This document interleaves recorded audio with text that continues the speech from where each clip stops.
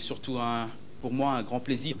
Je sais que vous êtes très nombreux maintenant à nous suivre à Kinshasa, au Congo-Brazzaville. Vous êtes aussi nombreux à nous suivre non seulement sur Canal Télévision, mais aussi sur euh, la 96.8 MHz, c'est la radio Liberté Kinshasa. Vous êtes aussi très nombreux euh, au Canada, euh, vous êtes aussi nombreux aux États-Unis, en Europe, sur le bouquet Orao que vous nous suivez. Merci, c'est un nouveau numéro de votre magazine kiosque de ce euh, mardi, mardi 12 février 2019, qui reçoit trois invités. Joachim Diana, bonjour. Bonjour. Merci de répondre à notre invitation. Ah, merci. Euh, j'étais à l'intérieur du pays. À l'intérieur du pays. Pourquoi Précisément où?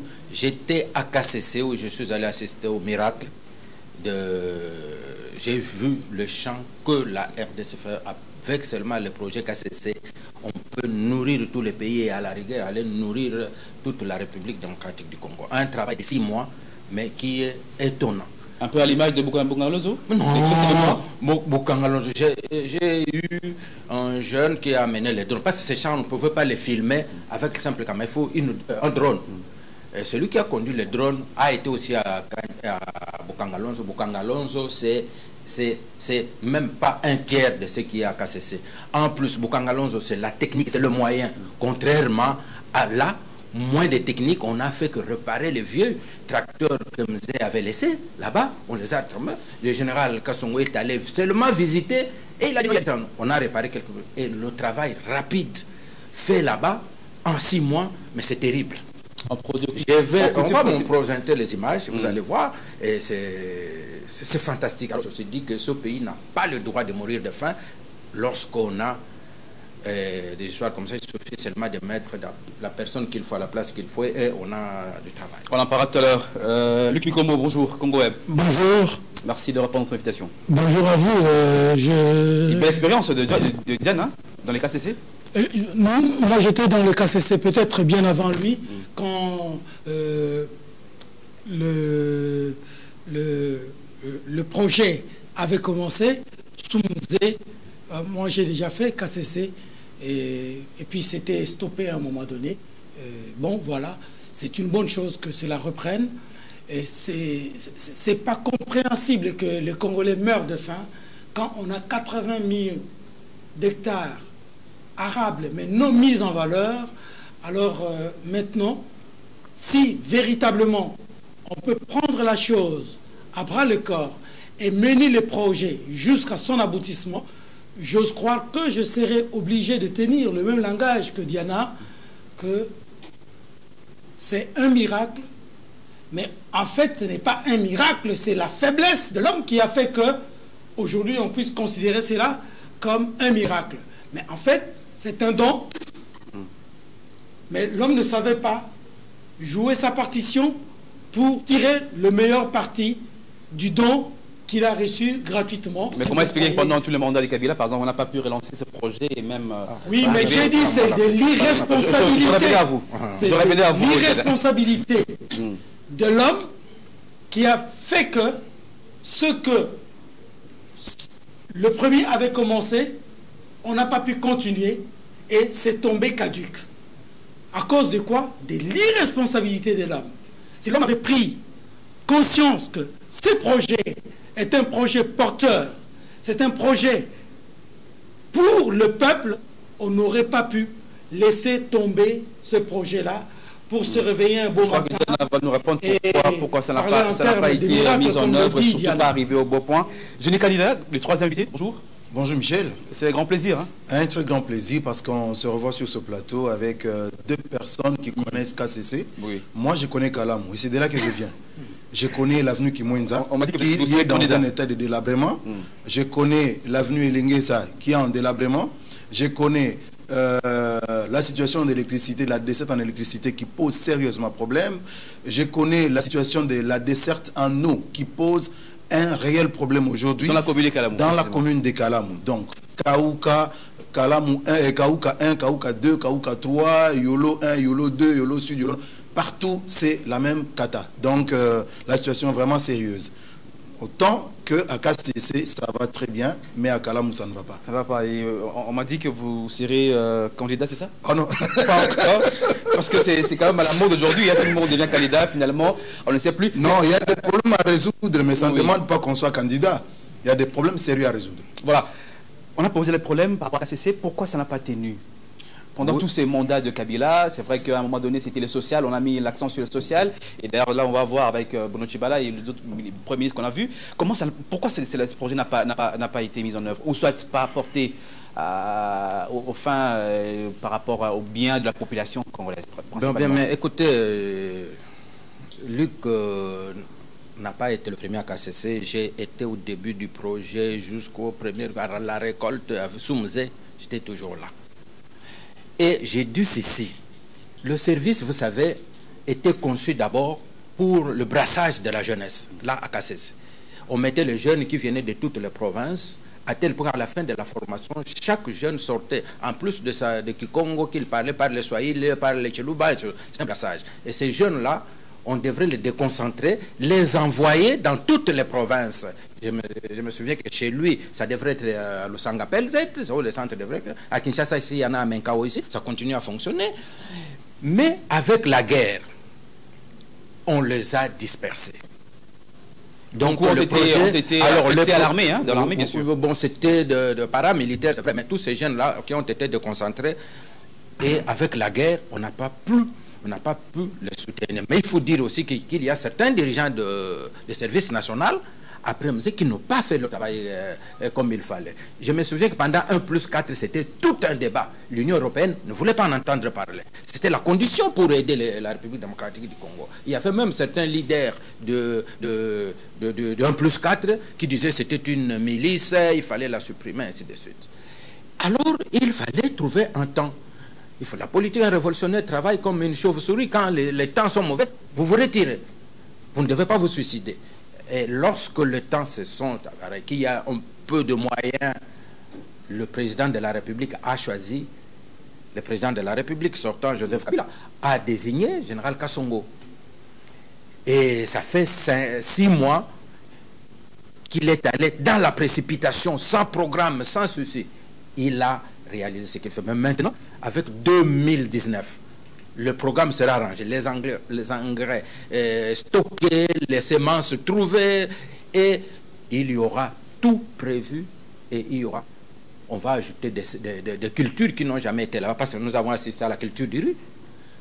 Les riz, nous étions, avant, laissé, on est en train de, de, sarcler, on a planté une variété euh, rare de haricots, et maintenant, on est en train d'élaborer, on devra la saison qui vient planter le soya et le, le soya et le tournesol ce qui n'a jamais été fait au Congo. Avec les tournesols et les soya, on va fabriquer l'huile végétale à partir des KCC. Vous trouverez à, votre table service national, huile végétale, ainsi de suite. Là, c'est un projet, vous parlez... Non, je vous 2019, je vous parle de 2019. En tout cas, tous les Congolais de toutes les provinces vont, vont, vont bénéficier de cela. Oui, je vous parle de deux. Ce ne sera pas comme Bukangaloz, parce qu'on a vu qu'on a... Bukangaloz, on a vu comment on a inauguré.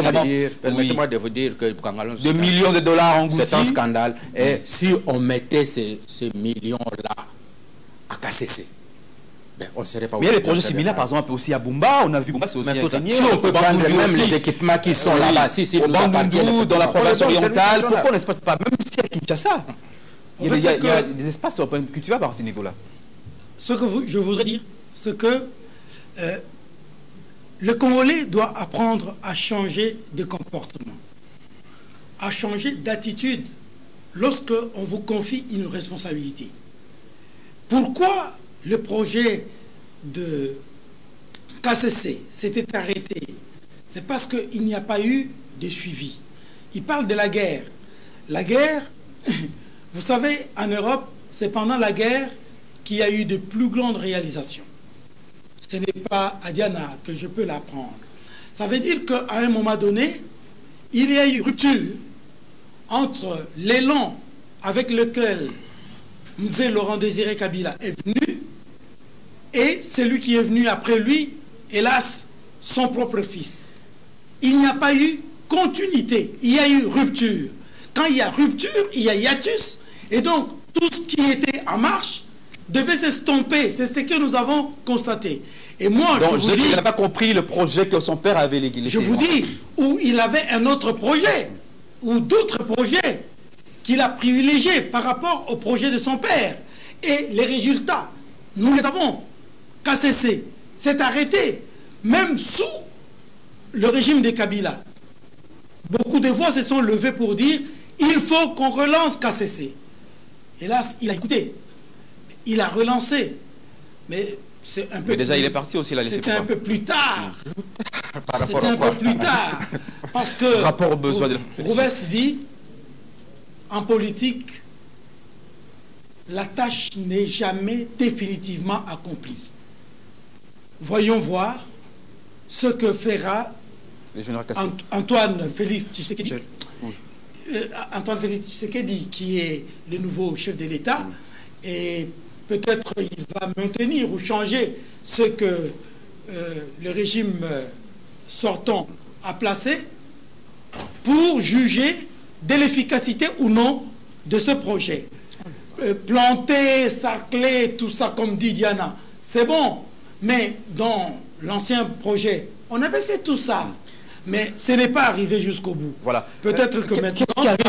Qu'est-ce qui, arrive, que finalement, on a, pendant tout le mandat du Kabila, bon, depuis 2006 euh, jusqu'en 2018, maintenant il quitte le pouvoir, il y a eu beaucoup de projets qu'on a, qu'on a vu même, il y a eu des inaugurations, on a inauguré tel euh, édifice ou tel projet pardon, de construction, même euh, on parle de KCC, Bukangalo et des autres, mais on n'arrive pas à pouvoir finaliser le projet.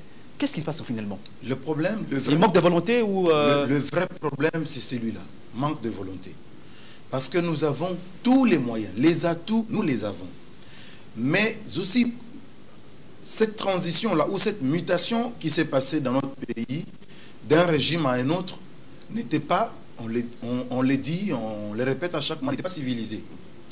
Ça signifie qu'il y a des pouvoirs qui se sont succédés, mais sans créer ce qu'on appelle la continuité de l'État. Ça, il n'y a pas eu. Parce que Mouzé amène un projet ambitieux, service national. Mais ce projet-là, quand il quitte, il y a Joseph Kabila qui arrive au pouvoir. Et quand il arrive, il ne prend pas à bras le corps tous les projets laissés par Mouzé. Pourquoi? Parce qu'il avait la pression des Occidentaux qui ne voulaient pas de Mouzé, Mouzé qui leur avait tourné le dos, qui avait créé le mécanisme de développement du pays, mais de manière renfermée sur soi. Donc RDC ne pouvait pas compter avec les Occidentaux pour se développer. Et ça, ça n'a pas été accepté par l'Occident. Alors Joseph Kabila crée une ouverture avec l'Occident. Du coup, tous les projets de Mouzé Laurent Désiré Kabila, qui était intraverti, s'estompe. Mais maintenant, nous assistons à l'alternance pacifique, j'ajouterai civilisée, comme on aime bien le dire maintenant. Ça sous-entend que les projets qui étaient en cours, les projets qui étaient planifiés, ou des projets inachevés aussi, des projets inachevés aujourd'hui, devront être passés entre les mains du gouvernement qui arrive. Parce que le gouvernement actuel, c'est des gens qui n'ont pas de volonté politique. Ils n'en ont pas. Et Joseph Kabila en a souffert. Il a cherché 15 hommes autour de lui, il n'a pas trouvé. Jusqu'à ce qu'il soit parti, il n'a pas trouvé. Je ne sais pas, aujourd'hui, les ministres qui sont là, qui sont en train de, de gérer les affaires courantes, qui peut arriver à satisfaire la population? Non, on ne peut pas compter sur eux. Donc, avec cette première alternance pacifique, il est possible que nous puissions arriver à un changement parce que là, il y a des dossiers qui existent. On verra qu'il y a tel projet qui était en cours. Il ne sera question que de continuer et de l'achever au bénéfice de la population. Très bien dit. Et ça sera une passerelle qui sera désormais ouverte pour quiconque viendrait au pouvoir. Ça serait Martin Fayoulou demain il va trouver une voie toute tracée pour lui parce qu'il y a des dossiers qui seront maintenant passés de main à main. Et non, avant de partir, vous vandalisez le bureau, vous déchirez le dossier et tout, vous partez. Et c'est lui qui arrive, il ne sait par où commencer. Mais au moins maintenant, le président Félix Tshisekedi sait par où commencer parce qu'il y a eu passation pacifique et civilisée de pouvoir. Voilà.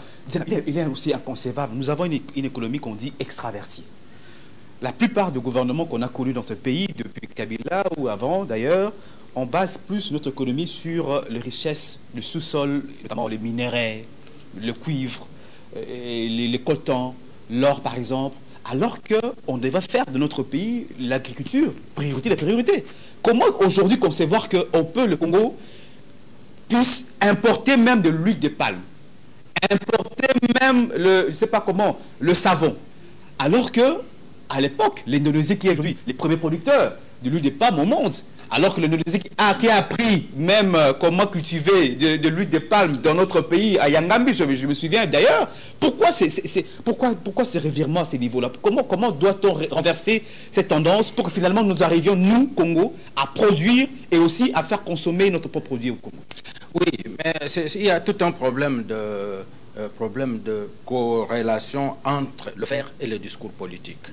On a toujours dit chez nous que l'agriculture, euh, c'est la priorité des priorités. On a toujours dit chez nous que c'est le seul secteur porteur d'emploi. Si on veut donner des emplois aux jeunes, c'est dans l'agriculture. Très souvent, on n'est pas passé à l'acte. Et c'est pourquoi Mzé est passé à l'acte, en mettant plus les jeunes je dis ceci, il n'y avait pas totalement, comme on dit, une rupture. Joseph Kabila a essayé plus d'une fois. Mais qu'est-ce qui a pas marché? Après, c'est ce que je dis. Après, avec Mzé, c'était le général Kalomé. Il y a eu après euh, le général Mounene au service national. Ça, c'est déjà sous Joseph. Après, il y a eu l'EICA, je crois. Et le tout dernier que le général Kassongo vient de remplacer, c'était le général Kitenge. Donc c'est pour vous dire qu'on a toujours cherché qui peut. Mais aujourd'hui, je vous dis, mes chers amis, j'aimerais même qu'une fois qu'on organise un voyage de la presse jusqu'à KCC pour qu'on voit ce qui va se faire surtout avec la saison qui vient, pour que les gens viennent témoigner, pour qu'on ne raconte pas des histoires. Je vais on en a beaucoup attendu, c'est le problème. Alors, le Congo attend les problèmes, les problèmes, Mais les, les, les, les, retombées ne viennent pas, c'est ça le problème. Je dis ceci. Personne ne va croire ce qui est à KCC n'a rien de commun avec euh, Bukangalonso. La différence, c'est quoi? Bukangalonso, beaucoup de millions. Bukangalonso, beaucoup de techniques. Vous avez vu des avions qui pulvérisent. Je vous dis que lorsque le général Kassongato, c'est juste deux tracteurs un peu cannibalisés, réparons. On a réparé le vieux tracteur laissé par Mzé et ils ont travaillé. Mais maintenant, il vient d'acheter une moissonneuse, une autre machine qui doit, que j'ai vu à l'œuvre en train de s'aimer le. C'est toujours le financement du gouvernement congolais? C'est le financement du gouvernement congolais, c'est ça? Ça, c'est totalement congolais. Et même pour que nous fassions la mission il fallait se battre à gauche à droite, puisque euh, au gouvernement, vous savez que rien ne sort comme argent et tout ça. Il faut se battre avec ça. Dans On a aussi la fameuse stratégique voilà, et c'est pourquoi l'objectif voilà. l'objectif du service national, c'est d'arriver un jour à faire le réserve nationale.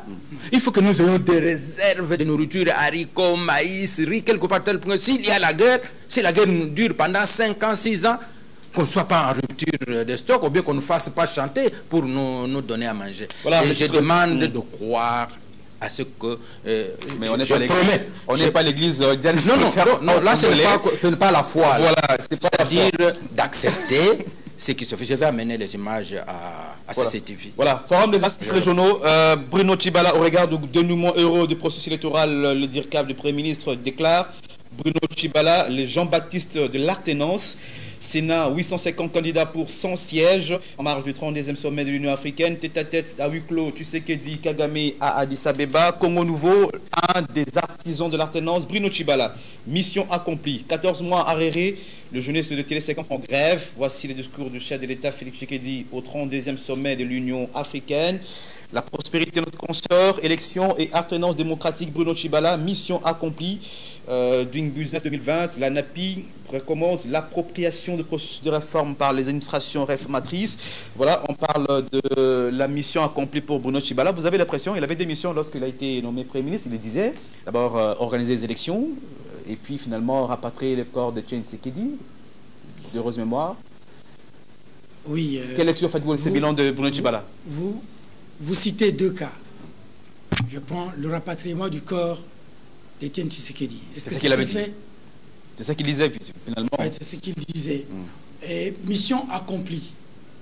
Et la phrase euh, ne dit pas bien accompli ou mal accompli. Mais mission accomplie. Par rapport à la chacun, chacun peut tirer une leçon ou tirer une conséquence, si vous voulez, de la manière dont la mission a été accomplie. Elle peut avoir été bien accomplie D'aucuns dira, elle a été mal accomplie. Moi, je ne juge pas. Mais, je, Mais au regard des actions menées, par exemple Oui, au regard des actions menées, je dis, M. Bruno n'a pas accompli beaucoup de choses que l'opinion attendait de lui. Par rapport à ce qu'il avait dit, c'est un peu comme son prédécesseur qui, piqué par une mouche ou par un moustique, est allé même à, dire les naissances, les accouchements seront gratuits, tout ça, tout ça. On dit même les gens ont pu donner les naissances. Finalement, euh, rien de tel. Mais le problème de notre pays, me semble-t-il, doit être considéré globalement. Il faudrait que l'homme congolais puisse changer. Vous avez entendu les chefs de l'État sortant dire qu'il n'a pas réussi à transformer l'homme congolais. L'homme zaïrois. L'homme congolais. Hmm. C'est Kabila qui a dit ça. À la question, je, pense bien de Alain euh, de Antena. Oui. Il n'a pas réussi. Maintenant, il ne faudrait pas que la gouvernance soit menée sur base des sentiments. La gouvernance doit être rationalisée. Quand vous dites quelque chose, vous devez mettre un mécanisme pour assurer le suivi afin que cette chose-là soit réellement réalisée. Je vais prendre un exemple.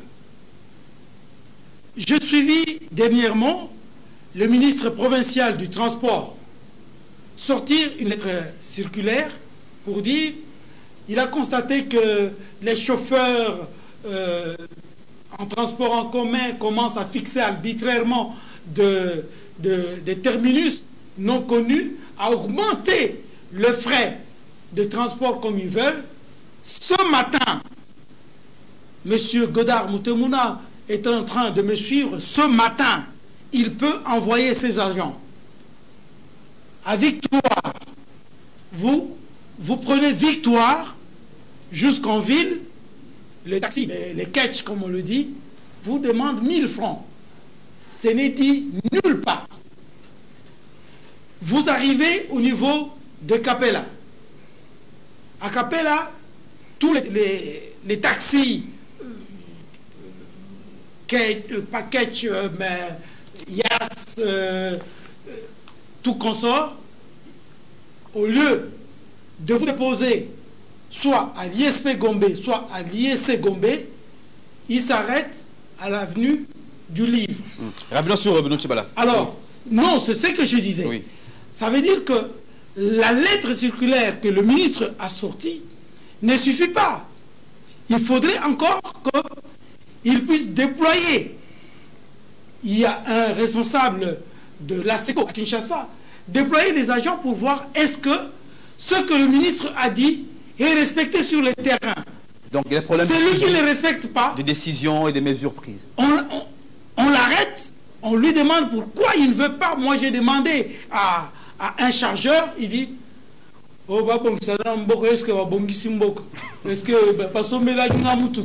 donc chacun veut faire ce qu'il veut s'il n'y a pas un suivi toutes les mesures qu'on prendra seront sans effet. Voilà. L'une mesure, il n'y aura pas très de corps de dit ça n'a jamais été fait. Mais par, par, par, rapport à cette question, on a dit sur l'ère Chibala, c'est une certaine euh, désacralisation même de la primature à un moment donné, on vous a vu, les gens, qui se battaient euh, à la primature. On a plus ou moins plus de 700 conseillers euh, à, sa, charge.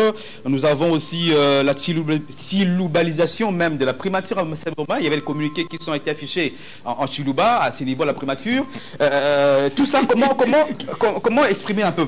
Est-ce que vous avez l'impression que c'est la même chose en fait par, rapport à l'ère Chibala, à la primature? Bon, sans exagérer, je suis allé à la primature quelques hmm. fois, je n'ai pas vu de communiqué en, en Chiluba, qui c'est une langue nationale, mais je n'ai pas vu ça. Hmm. Et euh, j'aurais même voulu qu'on qu'on finisse cette émission en Kikongo, parce qu'on se retrouve aujourd'hui entre Kikwitois, donc je voudrais bien qu'on finisse euh, cette émission en Kikongo, langue nationale. Voilà. Alors, hmm. moi je pense que Bruno Chibala ne doit pas tomber dans l'autosatisfaction qui aujourd'hui, de Joseph Kabila, de Bruno Chibala, de Corneille doit dire mission accomplie? Qui avait le, la clé de la réussite de ces élections? Est-ce Bruno Chibala, Joseph Kabila ou Corneille Nanga Qui doit se dire qu'il a accompli la mission comme Jésus-Christ à la croix? Je ne sais pas. En tant que chef de gouvernement, il a financé ces élections. Selon lui. Ok, il a financé les élections. Et euh, bon, en tout cas, je ne vais pas vraiment entrer dans, dans le débat, parce que j'aurais voulu que cette note vienne des journalistes. Que les journalistes disent que Bruno Chibala a réussi sa mission. Mais est-ce que en tout état de cause, en âme et conscience, les journalistes quinois ou congolais aujourd'hui peuvent dire, sans crainte d'être contredits, que Bruno Chibala a réussi sa mission Je me pose cette question-là. Pourquoi? Parce que je sais que notre presse n'a pas, jusqu'à aujourd'hui, les mains libres. Ça vient de quoi? Ça vient de euh, du show que le Premier ministre a organisé le week-end euh, le week dernier. L'échange de vœux, je crois. L'échange de vœux, c'est un show. Donc ça vient de là. C'est comme ça que vous voyez presque tous tabloïds revenir sur ce titre-là, parce que c'est le Premier ministre qui a appelé, il dit, venez constater, venez, je vais vous dire que j'ai réussi ma mission. Mais ce n'était pas une initiative d'un journaliste d'investigation qui a enquêté sur le processus électoral, sur le déroulement, et qui finit par dire, à conclure que euh, Bruno Chibala a accompli sa mission, a réussi euh, par rapport aux missions qui lui ont été données. Aujourd'hui, qu'est-ce que Bruno Chibala a fait du social? Qu'est-ce qu'il a fait dans le cadre du social? Qu'est-ce qu'il a fait? Parce qu'il y avait aussi le social, n'oublions pas. Lui qui venait de l'UDPS d'ailleurs. Lui qui venait de l'UDPS. Bon, l'UDPS, c'est comme une classe. Hein. Ça n'a rien à voir avec Bruno Chibala, ce que j'ai dit. UDPS, euh, c'est comme une classe. Dans une classe, vous avez le premier, vous avez le deuxième, vous avez le troisième, vous avez le dernier. Mais je ne sais pas dire qui, est, qui, est, qui, peut être considéré aujourd'hui comme le premier de la classe le deuxième et le dernier de la classe. Je ne sais pas le dire. Ça, c'est par rapport à comment est-ce que les gens, euh, les, gens les gens donnent les meilleurs d'eux-mêmes en politique aujourd'hui. N'oubliez pas que beaucoup de ceux que nous voyons sur la scène politique aujourd'hui viennent de l'UDPS. Beaucoup, beaucoup. En tout cas, je, je pense que même 70% viennent de l'UDPS. Ils sont passés par l'UDPS. Donc c'est une école, mais tout dépend de comment est-ce que chaque élève a assimilé la matière et comment il peut répondre à l'interrogation ou à l'examen. Donc pour finir, hmm. moi je pense que nous avons un sérieux problème aujourd'hui. Venir de l'UDPS, c'est un fait. Mais comprendre le progrès social en est une autre chose. Parce que ce qui manque aujourd'hui pour le développement du Congo, c'est le progrès social. Roosevelt, aux États-Unis d'Amérique, pour développer ce pays-là, il a recouru au progressisme. Et même la France a, recouru à ça. Donc ce qui nous manque, c'est le progressisme. Les progressistes, au fait, ce sont des gens qui considèrent qu'aujourd'hui, nous sommes à l'état primaire et que nous devons avancer. Avancer, très bien. Il y en a combien? Question mark. Voilà. Euh, Joaquin Dalla, est-ce que vous avez aussi l'impression par rapport à la gestion de Chibala C'est vrai que c'est difficile de pouvoir euh, établir est-ce qu'il a trouvé les dollars à combien et finalement il part? Est-ce que le dollar à combien? Est-ce qu'il y a eu à ce niveau l'amélioration du social? On en a parlé tout à l'heure ici pas, pas, de changement majeur à ces niveaux-là. Mais par rapport à sa gestion, par rapport à sa gestion comme Premier ministre, qu'est-ce qu'on doit retenir? Bon, mais écoutez, vous savez, moi... Euh, Est-ce qu'il a un, bilan positif? J'applique toujours euh, un principe de la Bible qui dit, au lieu de regarder la paille qui est dans l'œil voisin, tiens plutôt compte de la poutre, de la poutre que tu as dans ton œil, qui peut même t'empêcher de bien voir.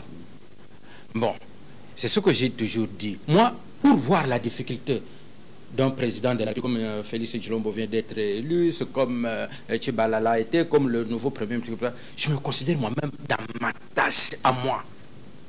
Qu'est-ce que je rencontre comme difficulté dans ce pays?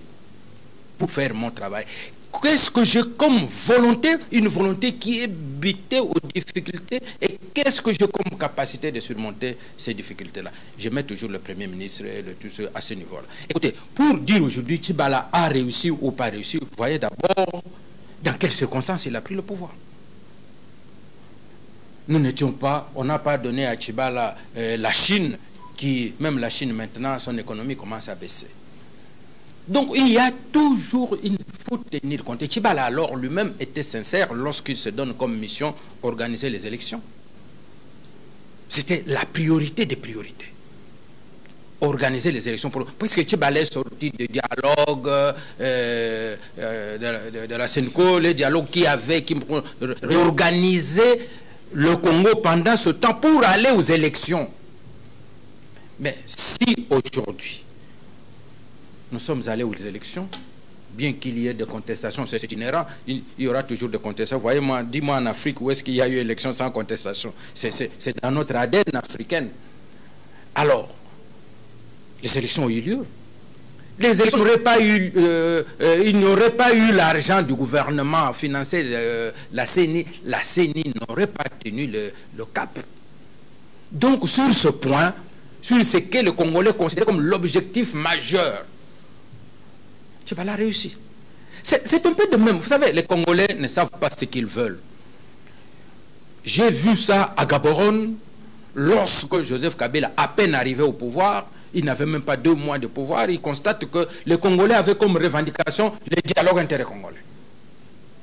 Et que son successeur, Mzé, avait renvoyé, fermé son bureau.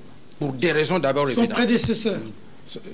C'est-à-dire prédécesseur. Le prédécesseur de Joseph Kabila avait renvoyé. On a parlé de musée. De musée. Oui.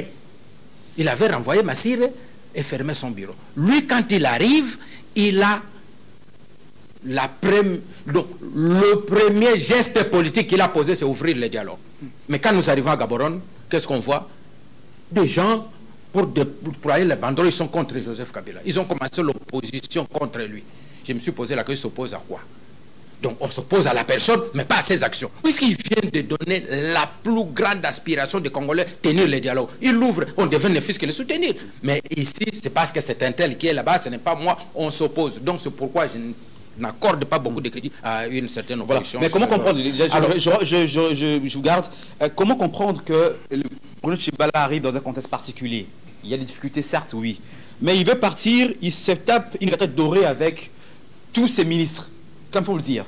Lorsqu'il y a des enseignants qui sont impayés, nous avons des médecins, nous avons des magistrats, nous avons, en tout cas, tous les secteurs de la vie de la société est dans une situation un peu précaire. Mais le Premier ministre et son gouvernement se tapent une retraite dorée.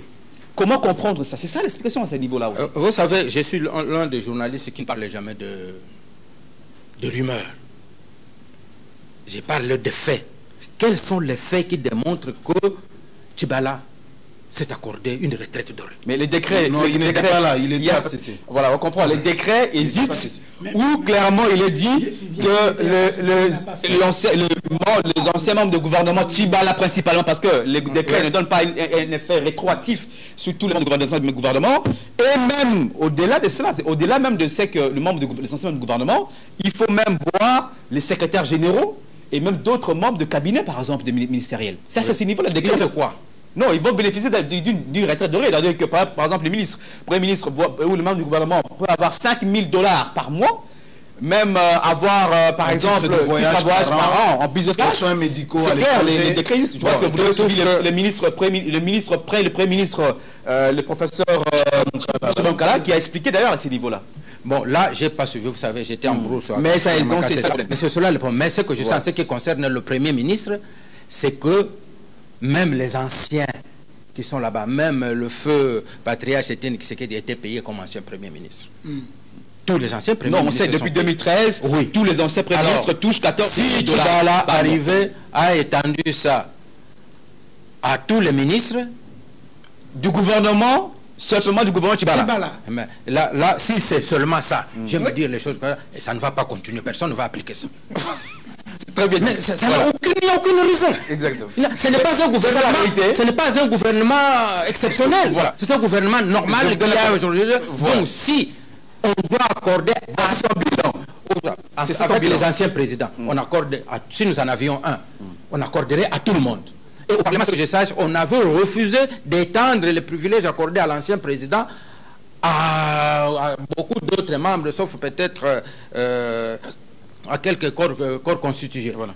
Alors, si tu vas le rendre à ces membres du gouvernement, ils savent très bien que ça ne sera pas appliqué. Voilà, un autre point aussi du bilan de Chibala à ce niveau-là. Comment vous réagissez à ce niveau-là? Lorsque même le décret, en fait, on sait que plus ou moins, pour que les avantages liés aux anciens membres du gouvernement ou d'autres, par exemple, c'est la loi des finances qui le fixe, mais ce n'est pas les décrets. D'ailleurs, ce niveau-là, c'est aussi une faute grave par rapport à la loi fondamentale. Et même l'autre bilan qu'on peut, euh, on peut aussi prendre par rapport à Bruno Chibala, le fait pour lui de pouvoir arrêter euh, Peter Tchani. Il y a aussi notre plainte en vue contre, euh, contre un confrère, Elisée Tamboué. Ça, c'est aussi notre bilan à ce niveau-là. Mhm. En fait, tout à l'heure, je, disais que euh, le Congolais devra changer de mentalité. Vous voyez, par exemple, le décret que Bruno Chibala a sorti accordant les avantages à lui et au ministre exclusivement de son cabinet, Diana, qui a passé toute sa vie... Non, il, s'est excusé, il était à KCC. dit que ça ne va pas s'appliquer, et je suis d'accord avec lui. Je pense qu'il y a une certaine irrationalité dans la prise d'une telle décision. Et moi, je suis estomaqué de voir que des gens de valeur, comme des professeurs Tibangu Kalala, comme des ministres que je ne peux pas citer ici, qui sont membres de ce gouvernement-là, qui voient l'arbitraire de ce décret-là et puisse accepter que ça puisse être publié. Et même justifier cela. Ça me fait honte d'être congolais. Et moi, je pense que le président qui vient et les gouvernements qui viennent ne vont pas accepter d'aller dans ce chemin. Sinon, on ouvrirait la boîte de Pandore. Tous les ministres qui ont œuvré dans n'importe quel gouvernement depuis Mobutu, parce qu'il faut être correct. Il faut remonter depuis Kazavubu. Devrait bénéficier des mêmes avantages. Mais que va-t-il rester pour ceux qui sont en action? Je pense que euh, ce n'était pas très bien réfléchi. C'était irréfléchi. Et euh, nous savons que chaque cabinet, quand il a terminé son travail, en sortant, il y a des indemnités de sortie. Indemnités sortie. Hmm. Oui, ça, il faut le leur accorder. Comme il faut accorder les indemnités de sortie de tous les cabinets qui se sont succédés. Moi, j'ai travaillé dans deux cabinets, il n'y a jamais eu d'indemnité de sortie. Donc, il faut rationaliser... C'est six mois de salaire qu'on donne, c'est tout. Il faut, il faut rationaliser la gouvernance, surtout de la chose publique. Vous avez cité le cas de nos confrères qui ont été inquiétés par la justice pendant Bruno Chibala. Sur ce plateau, j'ai toujours dit, attention, quand on vient aux affaires, la porte par laquelle on entre, c'est toujours par cette porte-là qu'on va sortir.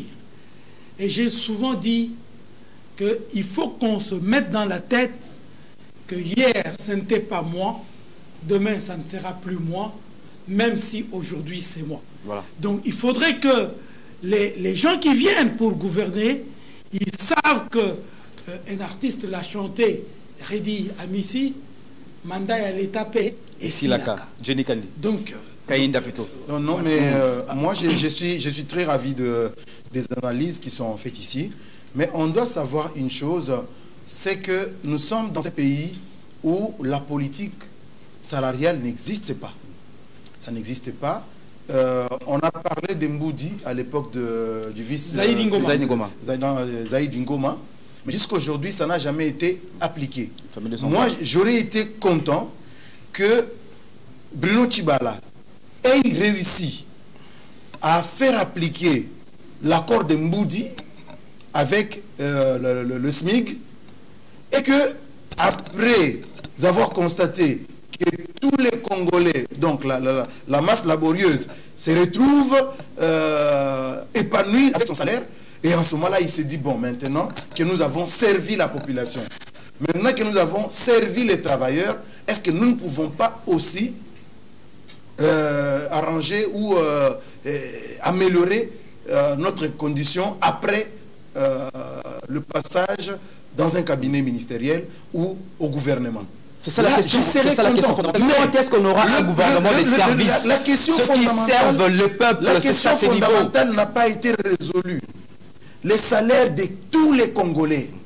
Aujourd'hui, que, que touchent les journalistes congolais? C'est pourquoi moi j'ai toujours dit que Lambert, Mende, Lambert Mende a été le meilleur ministre de la communication. Mais il n'a pas été le ministre des médias. Et nous n'avons jamais été ministre des médias, à l'exception peut-être de Chulombo, qui a essayé de regarder qu'est-ce qui se passe dans les médias. Comment est-ce que l'homme de la presse est rémunéré Heureusement pour nous que euh, le président Félix Tshisekedi a dit qu'il doit redorer l'image de la presse congolaise. Ça, il faut compter avec lui. Donc c'est un partenaire pour nous. Parce qu'il va se pencher sur notre question.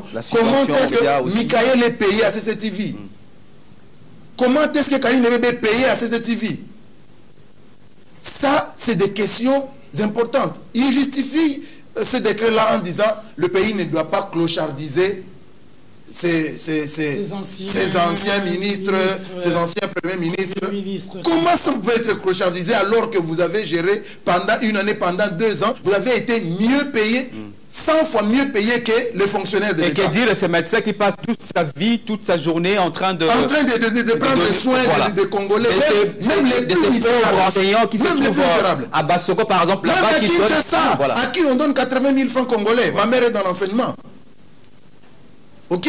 Alors, qu'est-ce que vous, qu'est-ce que vous, vous donnez comme euh, leçon à nos enfants? Ça signifie que au Congo, pour avoir une bonne euh, vie ou euh, des meilleures conditions de vie, il faut faire la politique. Il faut faire la politique. Mais attendez, ces ministres-là, avant de devenir ministres, ils n'étaient pas quelque part.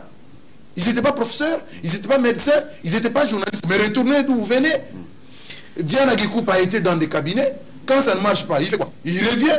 Il ne passait plus sur CCTV parce qu'il était dans, dans, la campagne de, de, Ramazan Chadari. Mais quand ça s'est arrêté, il est revenu à CCTV, à C'était Lui qui était dans le cabinet ministériel. Quand c'est fini, il est rentré. Mm. Willy, Willy Kalengai était avec Zaïd, il était avec Kamere. Quand c'est arrêté, il est retourné.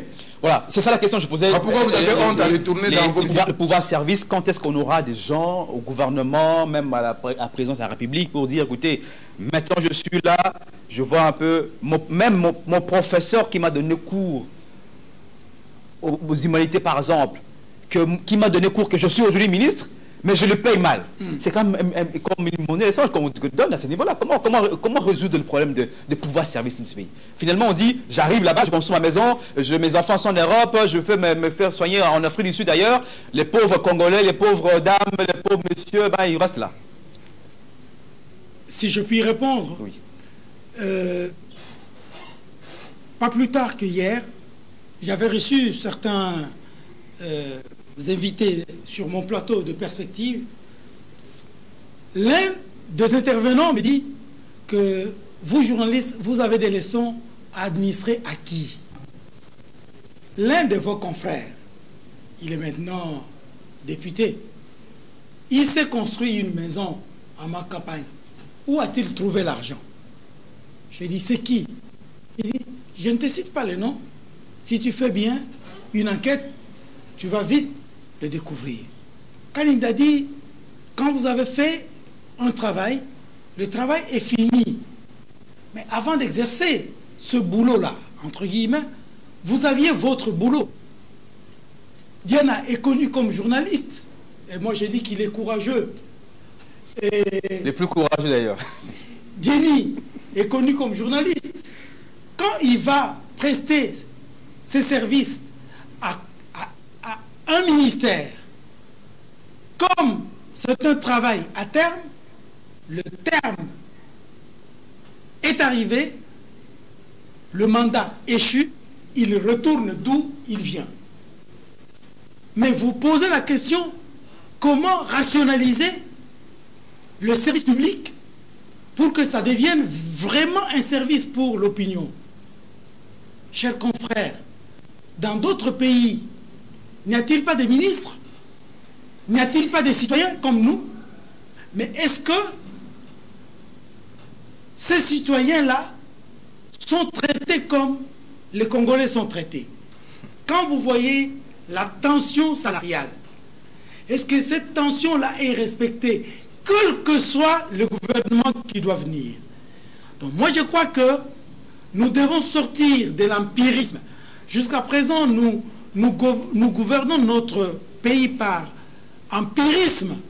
Nous devons entrer pleinement dans la société de la rationalité. Et je suis content, tout à l'heure j'ai discuté avec Diana, il m'a dit que son travail de mémoire était axé justement sur l'agir. Nous devons agir et bien agir pour d'abord rectifier les erreurs du passé, on les aura corrigées et on les aura améliorées. Celui qui viendra après devra améliorer là où nous sommes arrivés. Lorsqu'il y a amélioration dans tous les domaines, la redistribution du gain national va être faite de, manière rationnelle, c'est-à-dire chaque citoyen pourra se retrouver. Aujourd'hui, là... Merci, nous sommes à la fin. Je, termine. Nous parlions de M. Tibala. M. Tibala n'a pas bien résolu le problème que M. Steve Mikaï a créé dans les universités. Les étudiants ont payé au taux de 92. Mais ça s'est réagi, Avec une réjailli sur les personnels académiques qui aujourd'hui souffrent de la décision que M. Mbikaï a prise. On a la grève à l'UPN, par exemple, à ce niveau-là, mais aussi, voilà. même au 50, hein, quelque part, c'est une honte pour, pour, nous aussi. Nous qui faisons, nous sommes les donneurs de leur finalement, on tombe dans ces cas On ne sait pas payer nos agents, finalement. Oui, écoutez, en commençant ici, j'avais dit ça, que moi, pour, pour parler de la difficulté, le ministre a fait ou n'a pas fait, je considère moi-même, c'est que je sais faire. Moi, je suis aussi patron de presse. Je sais ce que c'est, nous avons comme difficulté. Mais ils ont les subventions, semble-t-il. Oh, non, non, écoutez, il n'y a aucun journal ici, aucune télévision qui a des subventions ici. Aucune. Des interventions En ce qui concerne des interventions ponctuelles, vous ne pouvez pas faire tout un budget annuel pour les interventions ponctuelles. Des réserves. Alors, il faut je, dis, je, crois que je serais mesquin, je serais celui qui rappellerait tout le temps au président Chilombo, vous étiez à l'opposition, vous avez dit ça, Non, mais le problème est que maintenant, il sera devant les réalités. J'aimerais demain voir Jenny euh, au pouvoir. Il que tout ce que je disais à la télévision comme euh, euh, critique. C'est pas si facile à faire.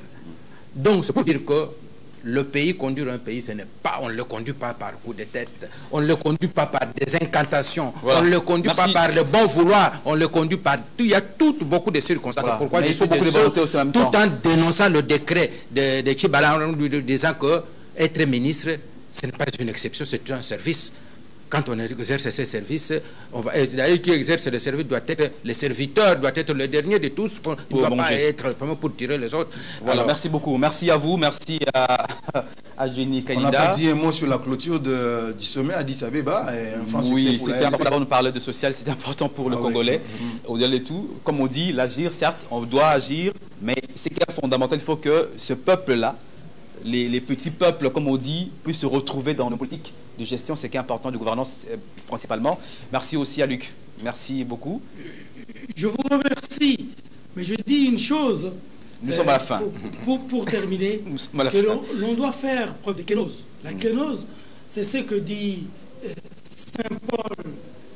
Jésus-Christ, lui qui était de nature humaine, il s'est rabaissé jusqu'à devenir un homme jusqu'à aller mourir et mourir sur la croix. Merci. Il faudrait que il est ressuscité. Les hommes politiques.